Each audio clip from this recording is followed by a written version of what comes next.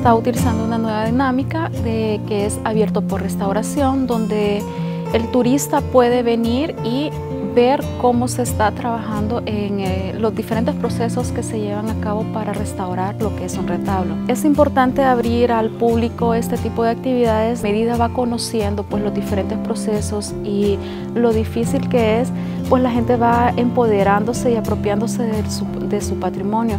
Entonces ya las personas vienen y empiezan a proteger y a cuidar ya empiezan a identificarse más con su propia cultura también.